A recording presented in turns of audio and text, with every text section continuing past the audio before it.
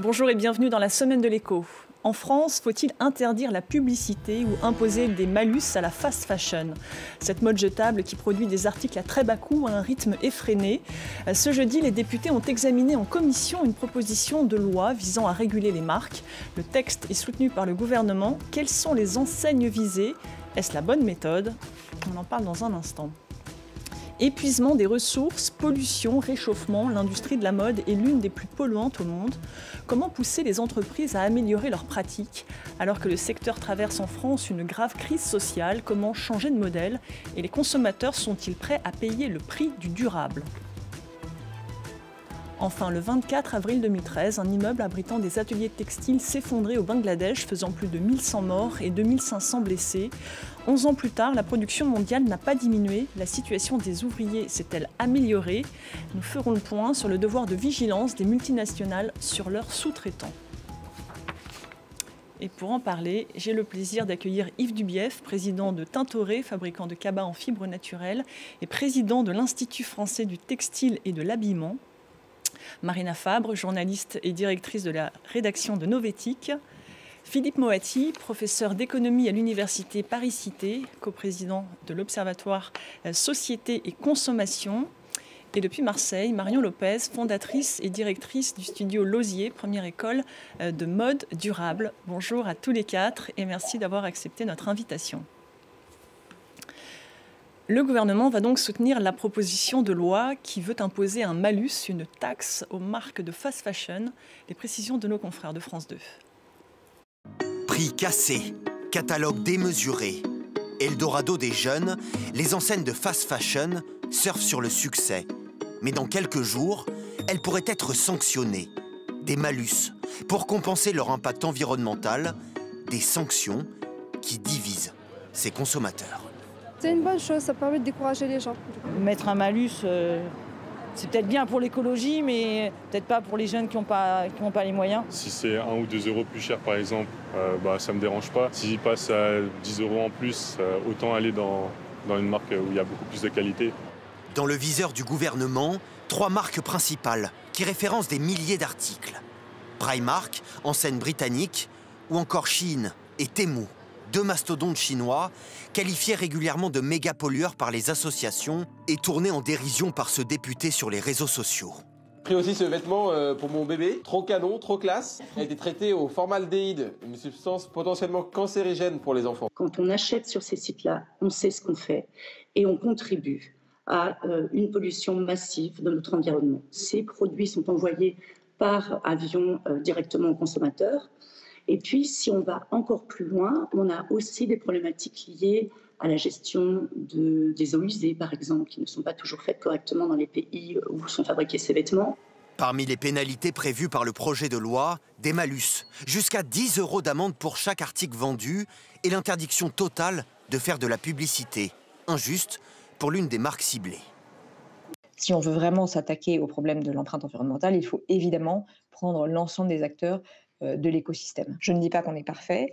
Évidemment, il y a beaucoup de choses euh, à améliorer sur des sujets différents. Euh, on fait des efforts, on investit, on fait de la recherche. 100 milliards de vêtements seraient vendus chaque année dans le monde. C'est deux fois plus qu'il y a 20 ans. Yves Dubief, on l'a vu, trois marques sont visées par cette proposition de loi, Primark, Chine et Temu. Pourquoi ces trois marques sont-elles les seules à polluer?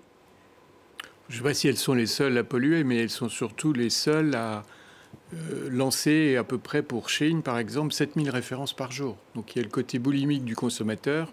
Et là, euh, c'est pas chaque article qui pollue, c'est la masse d'articles qui pollue. Et on parle de pouvoir d'achat. Euh, on voyait les, intervenants dire 2 euros OK, 10 euros pas OK. Mais est-ce qu'ils sont obligés euh, en, étant, euh, en passant sur TikTok et en allant sur Shine, d'acheter euh, chaque semaine un colis complet de moins de 150 euros, parce que 150 euros, c'est le seuil au-delà duquel il y a de la TVA, et des contrôles douaniers d'acheter pour acheter et pour acheter. Et ça, c'est la pollution, elle est par le nombre. Alors la représentante de Chine, on l'a entendu, d'ailleurs tout comme certaines ONG estiment que si on veut s'attaquer aux impacts environnementaux du secteur, tous les acteurs euh, sont concernés. Yves Dubief, vous êtes d'accord avec cette analyse? Bah, tous les acteurs euh, qui ne sont pas sous les règles européennes, parce que moi je suis un producteur européen, français. Euh, j'ai des, exigences en matière de colorants avec, les, avec REACH comme euh, réglementation européenne. Sur les produits toxiques? Sur les produits toxiques, bien sûr. Et sur le plan social, ben, j'ai les règles européennes et spécifiquement françaises. Donc je pense que on n'a pas à être montré du doigt sur ce sujet. Donc vous ne voulez pas en fait que soient euh, importés des produits qui ne respectent pas vos règles européennes on est un peu comme, les agriculteurs dont les slogans, si vous vous souvenez, il y a quelques semaines dans les manifestations, c'était euh, N'importons pas ce que, l'on interdit en France. On peut dire pour le textile, n'importons pas ce que l'on interdit en Europe. Donc ça, ça, passe par une renégociation des traités commerciaux? Comment on s'y prend? Ben, Ça passe par un contrôle des marchandises qui rentrent en France, parce que euh, Shein ou, Temu, Primark a, des magasins, donc c'est un peu différent, mais Shein ou Temu, il n'y a pas de contrôle entre le colis qui est expédié euh, depuis la Chine euh, par avion et qui arrive dans la boîte aux lettres du destinataire. Il n'y a aucun contrôle. Donc on ne sait pas ce qu'il y a dedans, quels sont, si ça respecte bien la valeur faciale douanière qui est, comme je disais, inférieure à 150 euros, et si les produits sont aux normes européennes en matière de, de colorants. Et après, il y a la, la, façon dont ils ont été fabriqués, c'est encore plus compliqué. en gros, ça veut dire renforcer les contrôles. Oui. Philippe Moiti, je, vois lever les yeux au ciel. Non, non, mais on est très, très fort en France pour faire des lois, mais on n'a pas toujours les moyens de vérifier qu'elles sont bien respectées. Quoi. Euh, mais c'est le problème, parce que là, effectivement, on s'en prend à trois acteurs emblématiques hein, de, des excès hein, de, cette, de cette industrie.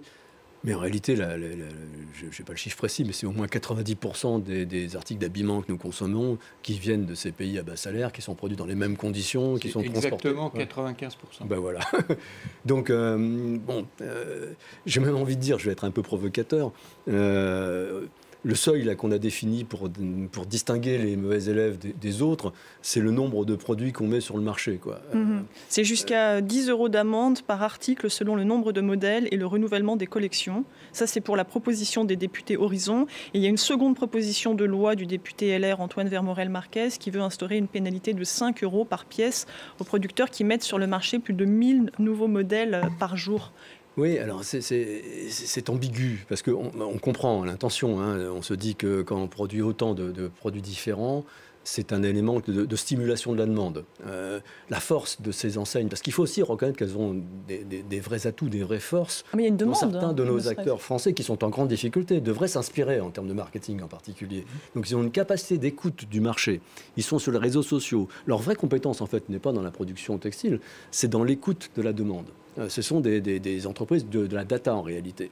Donc ils sont en veille. Et des prix euh, défiant toute concurrence et des collections effectivement extrêmement limitées, très, très nombreuses. Qui, tapent juste ils saisissent les, mouvements de la mode, qui sont des micro-mouvements de la mode, hein, et répondent avec précision comme ça à ce qui émerge. Donc, là, alors, un, on peut dire, bah, c'est bien, les consommateurs trouvent exactement les produits qu'ils cherchent. Deux, et ça, c'est pas à négliger quand on parle de l'impact environnemental, ils produisent au plus juste.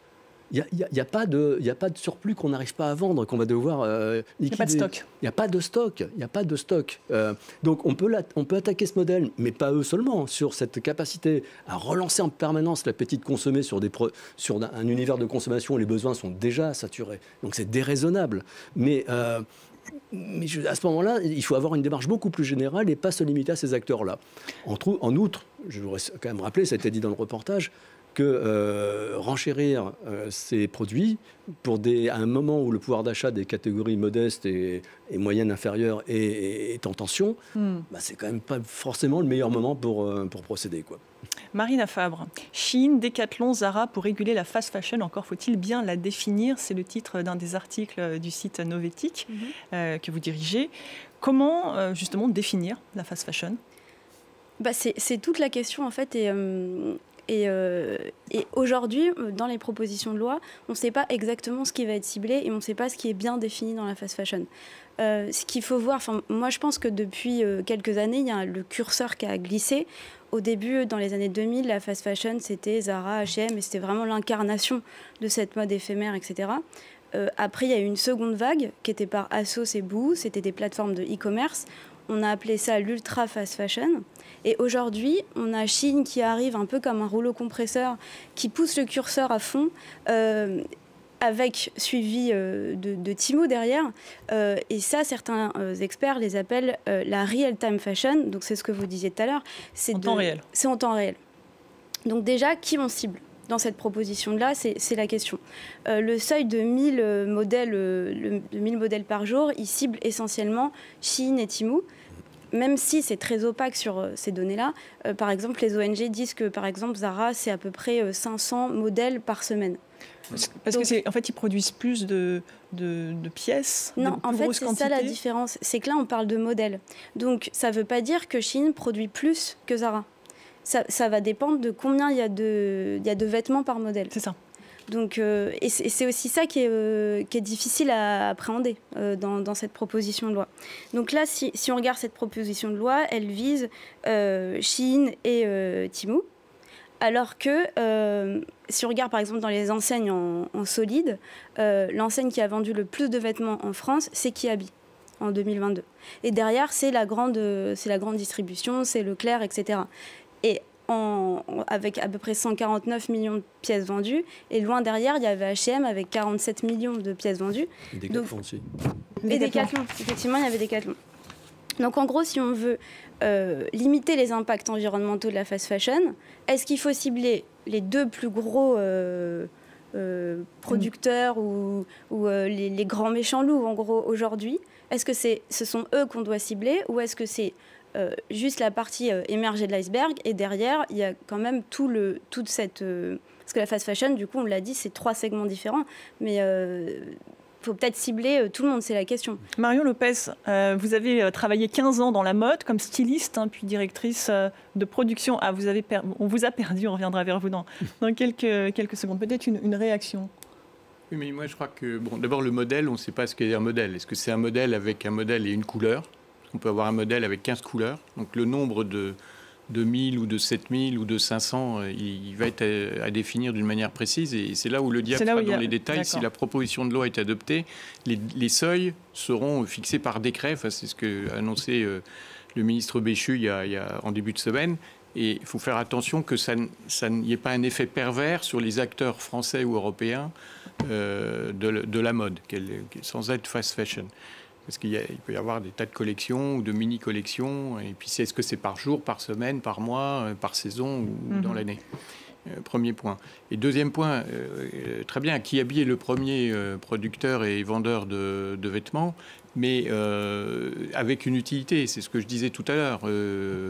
Chine ou Timou, c'est sur la, boulimie. Vous, vous regardez si sur le site, c'est des trucs euh, à partir d'un euro, 3,40 euros, 5 euros. Pour 50 euros, vous avez, euh, une garde-robe complète si c'est pas deux. Donc, euh, est-ce qu'on a besoin de ça? Certainement pas. Marion Lopez, je crois qu'on vous, a, on vous a retrouvé. Vous avez travaillé 15 ans dans la mode comme styliste puis directrice de production en vous rendant régulièrement en Asie. Euh, vous avez pu constater les ravages de, la surproduction. Où euh, placeriez-vous, euh, vous, le, curseur de cette fast fashion? Moi, je pense que, donc, en fait, les marques de fast fashion qui sont visées comme Shein et Temu, c'est important de le noter, mais je rejoins euh, tout à l'heure euh, ce, que, vous disiez. Euh, la mode en général, je veux dire, en fait, on ne peut pas se, se, contenter de viser que quelques marques qui vont produire évidemment énormément de quantité et, et, placer à peu près sortir 7000 modèles par jour, évidemment. Mais vous avez énormément de marques qui vont être des marques dites de prêt-à-porter qui finalement sont produites à l'autre bout du monde dans des conditions désastreuses désastreuse pour l'environnement, mais aussi pour la santé du consommateur. Et donc, euh, pour moi, il ne faut pas. Enfin, ce serait un peu limiter euh, le problème euh, que de rester que de ne rester que sur ces marques-là. Et est-ce que vous diriez pardon, que, que, ces mesures qui sont envisagées par ces, ces propositions de loi, est-ce qu'elles sont vraiment efficaces pour lutter contre la concurrence déloyale faite aux entreprises qui font le choix d'une production plus durable? Pense que c'est un bon début, c'est un bon début pour, euh, pour, euh, pour combattre ce problème-là. Après, je crois que l'enjeu réside aussi dans la dimension informative euh, du consommateur, c'est-à-dire que le consommateur doit être au courant qu'en achetant ces produits-là, c'est non seulement nocif euh, pour l'environnement, pour les conditions de travail aussi des fabricants derrière, mais aussi pour sa propre santé. Mmh. Et je crois qu'il y a un gros, gros travail à faire d'information, évidemment, et de sensibilisation à ce niveau-là. C'est-à-dire qu'une personne qui pense faire une bonne affaire en achetant 10 pièces chez Chine pour 3,50 euros, ou peu importe, euh, pense avoir fait une bonne affaire, mais finalement, euh, c'est nocif autant pour la santé, sa propre santé, que, que pour la planète. Et à partir de ce moment-là, le, consommateur sera plus éduqué et mm, pourra prendre la décision lui-même de ne pas acheter. précisément, dans, la proposition de loi, il y a aussi cette proposition d'interdire la publicité, et notamment les influenceurs. Est-ce que c'est une bonne idée selon vous? Moi, ah je crois... Ah, pardon, je, pose la question à Yves Dubief. Pardon, excusez-moi. Non, je, je, pense que je vois pas comment on peut interdire euh, la publicité euh, euh, d'une entreprise qui fait 3,8 milliards de chiffre d'affaires en 18 mois sur le marché français, qui est en Chine.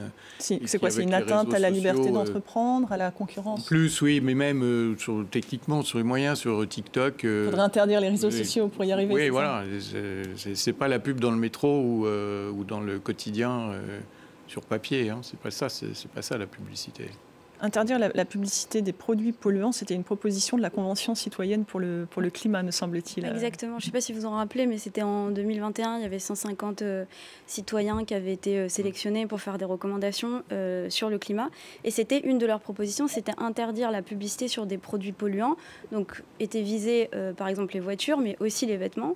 Et eux, ce qu'ils disaient, c'est que ces publicités incitent à acheter des choses dont on n'a pas besoin. Euh, du coup, ce qui contrevient à la sobriété et donc euh, potentiellement à l'atteinte euh, de l'accord de Paris. donc, il voulait prendre, pour, il voulait prendre en exemple la, la, communication qu'il y avait eu autour de la sécurité routière pour changer les comportements, parce que ça, ça marche. et en fait, c'est important parce que Chine, aujourd'hui, c'est vraiment la star de, de TikTok. C'était la marque qui a été la plus promue en 2023 sur TikTok à travers ce qu'on appelle des halls.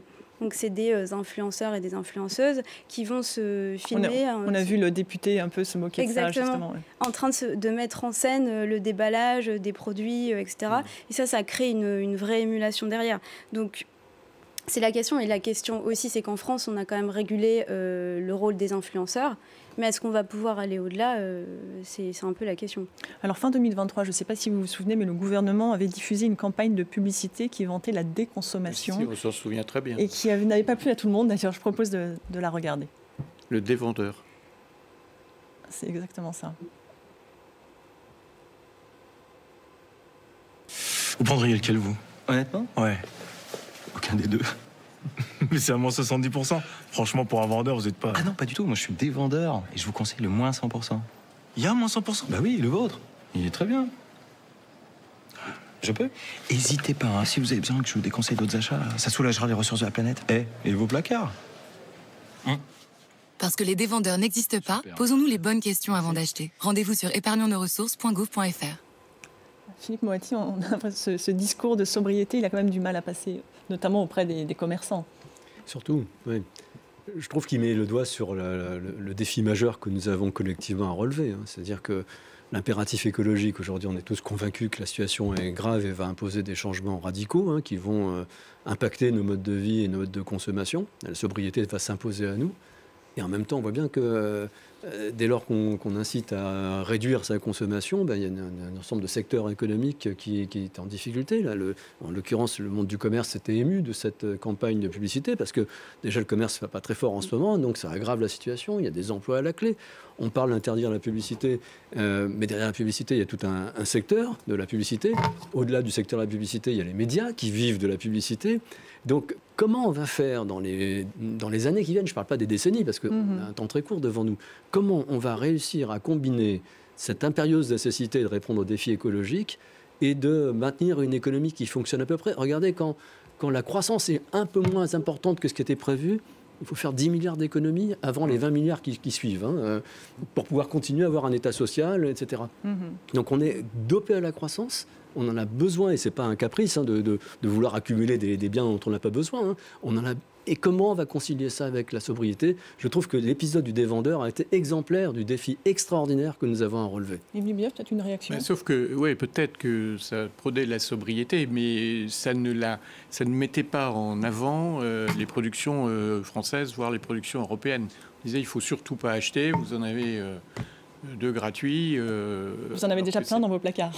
oui, vous avez plein dans vos placards, mais c'est on laissait euh, croire aux consommateurs que, euh, que ça soit fabriqué en France, fabriqué en Tunisie, fabriqué en Turquie, fabriqué en Chine, euh, avec des, matières traitées à l'ennoblissement, à la teinture d'une bonne manière ou d'une mauvaise manière, c'était pareil. Mhm. Et c'est la raison pour laquelle on s'était insurgé, la fois du monde du commerce, mais aussi le monde de l'industrie européenne du textile, qui se disait euh, on a déjà des difficultés parce que ce secteur de l'habillement était en difficulté et en plus c'était dans, quasiment dans la période des soldes donc c'était quand même pas un très bon message. ça nous conduit précisément à notre deuxième partie. Selon l'agence de la transition écologique, l'industrie textile est responsable de 8% euh, des émissions mondiales de gaz à effet de serre. Euh, Marion Lopez, entre les marques à très bas coût produites en Asie et des marques de luxe, y a-t-il un créneau pour un autre modèle économique, pour une mode plus durable? Peut-on être compétitif et durable? Alors, euh, c'est intéressant comme question.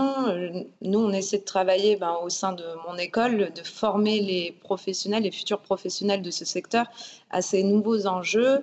Euh, l'idée, c'est de trouver un nouveau modèle autour du surcyclage et euh, de la circularité, c'est-à-dire essayer de travailler avec, en revalorisant l'existant finalement. donc, ne pas pour ne pas favoriser la surproduction, mais, mais euh, euh, construire de, nouvelles façons de, de, créer à partir de l'existant.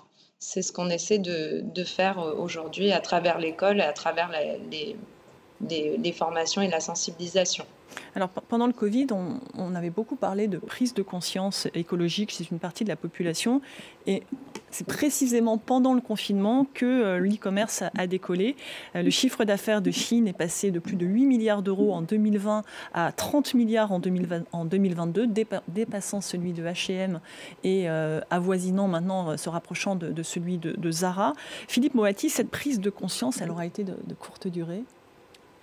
Écoutez, nous, c'est des choses qu'on suit dans nos enquêtes. Euh, en gros, les Français sont parfaitement conscients de la gravité de la situation environnementale. On a juste assisté à un petit affaissement des indicateurs de sensibilité, parce qu'aujourd'hui, c'est la question du pouvoir d'achat, de l'inflation qui préoccupe les Français. je crois que effectivement, la, conscience est acquise. Euh, on, vient de rendre public un baromètre de sobriété que nous avons fait avec, avec l'ADEME. Il y a des bonnes et des mauvaises nouvelles. Je vais vous donner une mauvaise nouvelle. 82% des Français disent qu'ils ont un mode de vie sobre. Donc, euh, c'est dire que distance qu'il nous reste à parcourir. Quoi. Donc, on a un défi sur les modes de vie et les modes de consommation. Mais en même temps, euh, n'oublions pas qu'on assène en en permanence aux consommateurs l'idée qu'il faut consommer, qu'on sera plus heureux en consommant. Hein. Et du côté de l'offre, bah, ça a été dit à l'instant, hein, il y a un énorme défi, c'est comment on crée de la valeur économique, parce qu'on a besoin de valeur économique, en consommant moins de ressources et moins d'énergie. Mm-hmm. Il n'y a pas 50 000 voies possibles, euh, il y en a en, grand, en gros, il y en a deux, je ne suis pas sûr qu'elles soient suffisantes. Hein. Il y a la montée en gamme, et effectivement, euh, produire des produits de qualité qui vont, qui vont durer avec des matériaux, des matériaux sains, bons pour la santé, etc. C'est plus cher c'est plus cher. Donc il faut arriver à convaincre les consommateurs que euh, c'est plus cher, mais c'est mieux. Voilà, c'est pas gagné, euh, surtout quand on a des concurrents aussi agressifs sur le terrain des prix. Et puis surtout qu'on voit que l'imposition d'un bonus, enfin la possibilité d'imposer un bonus sur les produits de, ces, nouveaux, de ces nouveaux acteurs n'a pas été très bien perçue par euh, certains consommateurs qui ont l'impression de faire des bonnes affaires, qui ont l'impression de dénicher une pièce unique. Oui. Il, y a, cette, il y a toujours cette ficelle de la bonne affaire, si vous voulez. Donc ça, ça va être compliqué. Et puis, et puis même si je suis convaincu que c'est pertinent d'acheter un jean à 150 euros, encore faut-il que j'en ai les moyens. Donc je pose la question de l'accessibilité financière à cette montée en gamme. Donc il y a des choses à inventer. La deuxième manière de réfléchir, c'est est-ce qu'on a vraiment besoin d'être propriétaire des vêtements? Euh, C'est le modèle l'économie de la fonctionnalité qui commence à être testé dans le, dans le monde de l'habillement. Pour certains vêtements, on n'a peut-être pas envie de partager certains vêtements avec tout le monde. Mais il existe déjà des formules. Peut-être pour les robes de mariée. Qui a une mhm. start-up qui a maintenant un, peu, un peu d'ampleur, qui s'appelle Round the Runway, qui propose, et on a l'équivalent en France, hein, des formules d'abonnement. Vous vous abonnez, vous pouvez emprunter autant de vêtements que vous voulez, vous les gardez aussi longtemps que vous voulez, quand vous êtes placé, vous les rendez. Donc si vous avez le goût du changement, vous pouvez changer tous les jours si vous voulez, mais évidemment les produits que vous rendez sont, sont nettoyés et sont remis en circulation. Decathlon en Belgique teste une formule similaire sur l'ensemble des produits vendus dans le magasin. Hmm. Donc il y a des pistes à réfléchir en termes de business model. Et, du coup, l'incitation à acheter sans arrêt plus, elle diminuera si la rentabilité de l'entreprise ne dépend pas des quantités vendues. Mais on a quand même l'impression que même le recyclage, même le fait la seconde main a été rattrapé par cette frénésie d'achat. On pense à, certains sites. Euh, finalement, est-ce qu'on peut, on peut en sortir aussi facilement? Ah, C'est un problème culturel. Comment on se désintoxique de l'hyperconsommation? Et ça, ça va être très, très, très compliqué. Encore une fois, surtout si les entreprises continuent d'avoir besoin de vendre plus pour être prospères. Donc elles vont mm. bah, user de tous les artifices, y compris les nouvelles technologies, qui leur donnent des outils remarquables pour nous inciter à acheter des choses dont on n'a pas besoin. Marion Lopez, j'aimerais vous faire réagir là-dessus. Mode et surconsommation ne vont-ils pas tout naturellement de pair? Et comment peut-être faire adhérer le consommateur sans, le punir, sans lui donner le sentiment d'être puni? Oui, je suis d'accord euh, avec ce qui vient d'être dit. En fait, ce qui est important aussi, c'est de pouvoir euh, montrer aux consommateurs que, au lieu d'acheter, parce qu'on parle beaucoup d'accessibilité et du fait que la mode durable, la mode responsable est chère, euh, le fait est que des personnes qui vont acheter 10, 15 modèles chez Chine toutes les semaines ou tous les mois, finalement, vont dépenser peut-être 150 euros par mois. Et l'idée, c'est de les convaincre et leur montrer qu'il vaut peut-être mieux acheter une pièce euh, chez une, marque responsable ou pourquoi pas en seconde main, hein, plusieurs pièces, euh, à un certain coût, euh, plutôt, mais une, une fois tous les deux mois, plutôt qu'acheter toutes les semaines des vêtements qui vont être à, jeter, puisque de très mauvaise qualité, finalement très rapidement. Donc euh, le, la notion d'accessibilité, finalement, euh, quand on la regarde dans ce sens-là, elle n'est pas forcément recevable. Et Mario Lopez, votre école, elle propose une approche, vous l'avez dit, durable. Cet enjeu, est-ce qu'il commence à être pris en compte par euh, d'autres écoles ou est-ce que, je ne sais pas, vous vous sentez bien seul? Alors, dans l'école, on propose plusieurs choses. Au cœur de l'enseignement, l'éco-responsabilité, la circularité. moi, la première chose que je dis à mes élèves, c'est de ne pas créer de marque dans le sens où si c'est pour créer une énième marque qui va être produite dans de mauvaises euh, conditions à l'autre bout de la planète euh, et nocif pour l'environnement, pour la santé, ce n'est pas la peine. S'il y a un vrai concept derrière de circularité, c'est intéressant. On voit de plus en plus de personnes jeunes et moins jeunes qui sont euh, sensibilisées à ça et qui ont envie de changer les choses. Donc je vois que l'enseignement que je propose attire beaucoup de, monde. Euh, on est deux écoles en France à vraiment euh, euh, défendre cette, ce type de formation. je veux dire entièrement hein, dans notre mode d'enseignement. Mmh. Il y a la CASA 93 aussi qui est dans le 93. Mais je vois de plus en plus, heureusement petit à petit, des modules, des, des, collaborations et des choses qui sont en train d'être mises en place dans des écoles de mode classiques, institutionnelles. Donc c'est encourageant. Je trouve que ça met encore un peu de temps, euh, mais ça passe par là. Pour moi, euh, le changement passe aussi par l'information, la sensibilisation et la formation des futurs acteurs de ce secteur c'est indispensable. C'est une première étape. On, en vient, on, continue, on en vient tout de suite à notre euh, troisième et dernière partie. 11 ans après le drame du Rana Plaza, euh, cet immeuble abritant un atelier textile au Bangladesh, la situation des ouvriers s'est-elle améliorée? En 2017, la France euh, a été pionnière avec la loi sur le devoir de vigilance des sous-traitants. Son but, responsabiliser les multinationales pour les impacts sociaux et environnementaux tout au long de leur chaîne de valeur. Elles doivent notamment s'assurer que leurs prestataires respectent bien le droit du travail. Marion Lopez, selon vous, cette loi a-t-elle changé les choses? Et peut-être aussi face à la cascade des sous-traitants, comment euh, rendre les contrôles plus efficaces? Euh. Malheureusement, je ne suis pas très optimiste pour l'instant, euh, dans le sens où on voit qu'il n'y a pas eu beaucoup d'améliorations. D'abord parce qu'il est très difficile de contrôler finalement les usines moi, je passais des mois entiers sur place. C'est ce qui m'a permis de me rendre compte de vraiment de la notion de, transparence donc, et ce manque de transparence qu'on pouvait constater quand on était au sein d'usines parce que quand vous êtes une marque et que vous fabriquez en Chine, par exemple, ou en Inde, euh, vous avez euh, un lien avec votre fabricant, euh, mais si vous ne restez pas sur place des mois entiers, la sous-traitance, vous n'avez aucune, comment dire, aucun regard en fait hein, sur la sous-traitance. Il m'est arrivé de devoir vérifier la production de 40 vestes en Chine et, d'être, de devoir un peu insister pour voir les, les modèles. Et ce n'était pas du tout au sein de l'usine. On a fait une heure et demie de voiture dans la campagne. On est arrivé dans un salon chez des gens. Euh, et je me suis rendu compte que les vestes étaient faites euh, par euh, bah, une famille dans un salon, voilà, donc dans des conditions qui ne respectaient peut-être pas les normes de sécurité, etc.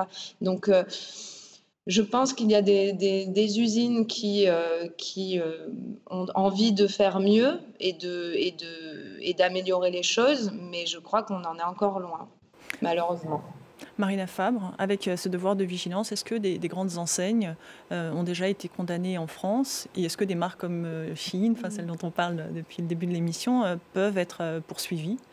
En fait, c'est le grand paradoxe du devoir de vigilance qui a été voté en, 2017 en France, c'est qu'aujourd'hui, il n'y a aucune ancienne enseigne du, du, secteur de la mode qui a été condamnée ou même poursuivie. Parce que en fait, il y avait certains critères qui, par exemple, H&M et Zara pouvaient être soumis au devoir de vigilance du fait qu'ils avaient 5000 salariés en France, etc. Mais leur statut social, c'était une SARL et le devoir de vigilance excluait les SARL. Et donc, ils ne pouvaient pas être poursuivis sur leur devoir de vigilance. Donc, en fait, c'est la, grosse faille aussi du devoir de vigilance français, c'est-à-dire qu'on l'a euh, on l'a monté euh, après le Rana Plaza euh, parce qu'on trouvait dans les décombres des étiquettes de Camailleux, de H&M. donc c'était vraiment l'électrochoc, etc. Et derrière, le secteur de la mode, il est, en tout cas, les grosses enseignes ne sont pas, sont pas directement concernées, quoi aujourd'hui en France. Alors après, il y a le devoir de vigilance européen dont on va parler après, qui, mhm. pourra... Peut-être vous faire réagir, Yves Dubief, sur le fait que, bon, pour l'instant, les entreprises du textile sont passées entre les gouttes, mais qu'est-ce que ça vous inspire? Ça m'inspire qu'il faut éduquer le consommateur à, être sobre dans ses achats et à consommer durable et à consommer français et européen. Vous avez euh, chaque Français ou Française euh, consomme chaque année 8, 8 kilos de textile. Si euh, il passe 1%, c'est-à-dire 80 grammes, c'est-à-dire un bonnet, une écharpe, une paire de chaussettes, acheter en France, ça va créer 4000 emplois. Parce que là, on parle beaucoup de la santé du consommateur, euh, de la, du respect de la terre, mais il y a aussi, euh, aussi euh, le, volet emploi par le Made in France. Et ces 4000 emplois seraient tout à fait bénéfiques. Philippe Moiti c'est très difficile euh, d'appliquer ça juste en France. Effectivement, il faudrait au moins que ce soit, que ça soit une, disposition euh, européenne. Et de toute façon, comme ça a été dit, enfin, il y a une cascade de sous-traitants, donc c'est extrêmement compliqué. Euh, extrêmement compliqué. L'intention est bonne, mais c'est comme beaucoup de choses. Hein. C'est pour ça que se dire on met une taxe à l'entrée, c'est tellement plus simple. Tellement plus simple. il y aurait plein de choses qu'on pourrait faire pour essayer de limiter tout ça, mais ça veut dire du règlement. Et dès lors qu'on met du règlement, il faut mettre des contrôles. Et je pense qu'en France, on n'a pas la capacité de mettre le contrôle. On a une tonne de lois qui ne sont pas respectées parce qu'on n'a pas la capacité de mettre le contrôle. Alors souvent, par des raisons d'effectifs. Là, en l'occurrence, en plus, c'est objectivement très compliqué, ça se passe à, ça se passe à Oui, Marion Lopez nous a bien expliqué qu'elle avait dû faire des kilomètres pour finalement se retrouver chez des gens qui avaient leur atelier à domicile. J'insiste sur un dernier point, c'est qu'il faut distinguer les acteurs entre ceux qui euh, sont des enseignes ou des fabricants qui vendent leurs produits et ceux qui sont des marketplaces, des places de marché. Hum. Euh, la Redoute, par exemple, en France, est une hum. grosse marketplace où là, ils sont simplement des intermédiaires hein, qui mettent en rapport des vendeurs avec des, avec des clients. Alors, allez faire valoir le devoir de vigilance lorsque vous êtes un simple intermédiaire, un simple marketplace par rapport aux marchands que vous abritez. C'est absolument impossible. Temu est une marketplace. Hein. Hum. Alors, ce mardi, on va parler plus de droits humains maintenant. Ce mardi, le Parlement européen et les États membres ont trouvé un compromis pour exclure du marché européen les produits provenant du travail forcé. Euh, on imagine cet accord concerne notamment euh, la Chine, la production en Chine impliquant la minorité musulmane ouïghour. Euh, Marina Fabre, est-ce que cette nouvelle mesure s'ajoutera à ce devoir de vigilance qui n'est pas encore adopté au niveau européen, qui doit l'être? Exactement, il est en négociation en ce moment. Il fait l'objet de beaucoup de lobbying, de beaucoup d'attaques. Donc il a été au fur De et la à part mesure- d'industriels, Euh, euh, notamment oui, des groupes d'extrême droite, euh, des industriels. euh, euh, il a été détricoté au fur et à mesure. Il était assez ambitieux au début. Euh, le but, c'était quand même d'harmoniser, euh, parce que l'Allemagne aussi a un devoir de vigilance. La France a été pio- pionnière, mais l'Allemagne a aussi un devoir de vigilance. Donc le but, c'était d'harmoniser tout ça et euh, que la- le- l'Europe soit quand même le premier continent à se doter d'un devoir de vigilance. C'était très ambitieux. Donc il a été euh, revu à la baisse. Là, il est encore en, négociation. Mais ce serait quand même un geste euh, euh, assez fort, quand même une directive assez forte. Par exemple, elle viendrait combler les failles du devoir de vigilance français, parce que Chine et Temu seraient concernés par ce devoir de vigilance européen, puisqu'à partir du moment où on, on réalise plus de 300 millions d'euros de chiffre d'a- d'affaires sur le territoire européen, on est concerné. H&M, Zara, etc. seraient aussi concernés parce qu'il faut, euh, 5000, euh, faut employer 5000 salariés sur le territoire européen. Donc le périmètre est quand même plus large euh, et ça, vient quand même combler nos failles françaises. Alors le problème, c'est quand même qu'on est dans un contexte préélectoral, euh, que le Green Deal aussi a été détricoté. Donc la question, c'est ju- jusqu'où il va être ambitieux. Mhm. Et, et justement, euh, ce que le Parlement européen et les États membres ont trouvé comme compromis là, pour exclure euh, du marché européen les produits euh, venant du travail forcé, est-ce que ça s'ajoute à ce devoir de vigilance? C'est autre chose. C'est hein, autre chose, tout à fait, c'est autre chose. Ça viendrait s'ajouter parce que le devoir de vigilance, euh, il concerne les droits humains et environnementaux, alors que ce que porte Raphaël Glucksmann et ce que, ce dont vous, ce que vous mentionniez tout à l'heure, c'est c'est vraiment que sur les droits humains et l'esclavage forcé. Mhm. Euh, la, France, on voit que le, secteur de, l'habillement, il est en crise maintenant depuis euh, de nombreuses années.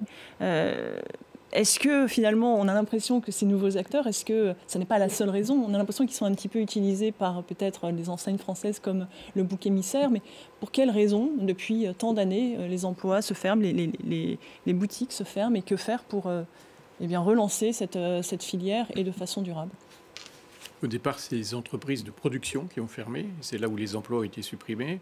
Aujourd'hui, c'est plutôt dans la distribution. hein. L'exemple de Camailleux, hein, 2000 ou 2500 personnes. Mhm. On en parle moins parce que c'est diffus sur l'ensemble du territoire. Hein. C'est pas dans un. Alors, seul- selon l'Alliance du commerce, au moins 4000 emplois ont disparu dans le commerce de l'habillement et de la Oui, chaussure l'an passé. fini.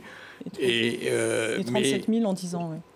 Tout à fait, mais il y a des, des initiatives de, de relocalisation ou de réindustrialisation euh, euh, de, de produits textiles, de produits d'habillement euh, en France. Euh, par exemple, dans le, dans le groupe Auchan, ils ont euh, euh, implanté une usine de production de jeans qui, vendent, qui est dans le nord euh, de la France. Au départ, ils le vendaient 59 euros, maintenant ils le vendent un, tout petit peu plus cher. Euh, en robotisant euh, la production et en standardisant euh, la forme et la conception euh, de ce jean. Et euh, ils sont euh, tout à fait compétitifs euh, par rapport à, des produits importés. Je ne parle pas de ce jean, mais par rapport à des produits du, middle, du, mix moyen disons. Et vous avez ça, vous avez Decathlon qui a fait des bonnets en France, vous avez le slip français au 1083 qui sont des marques emblématiques du Made in France et d'autres initiatives. Euh, puis après, vous avez euh, d'autres pays européens comme le Portugal qui, je pense, n'ont pas à, à rougir euh, de leur exemplarité en matière de, de respect des hommes et de respect de la terre. Philippe Moati, une proposition, dans, enfin, la proposition de loi dont on parlait tout à l'heure, elle prévoit aussi un bonus de 5 euros en cas d'achat d'une pièce respectueuse de l'environnement produite en France ou en Europe. C'est un petit peu sur le même schéma que les voitures électriques finalement. Est-ce que ça peut fonctionner? Est-ce que ça peut, être, euh, ça peut faire partie des solutions euh, Ça- En guise de Ça vaut conclusion. le coup de l'essayer en tout cas, mais bon, sur un jean à 150 euros. euh, 5 euros, ça oui, c'est pas grand-chose. Ça va pas très très très loin. Bon, on est quand même globalement sur un secteur en, en déclin. hein. Le, le besoin est saturé. D'ailleurs, c'est l'objet de la discussion. C'est c'est trop de consommation. On en a déjà beaucoup trop. Les volumes par habitant sont en train de diminuer. Et donc, les pouvoirs d'achat dont les gens disposent est, est affecté à des besoins qui sont moins couverts. Merci beaucoup, ce sera le mot de la fin. Merci à, tous les quatre d'avoir participé à cette émission. Euh, merci à vous de l'avoir suivi. L'information continue sur France 24.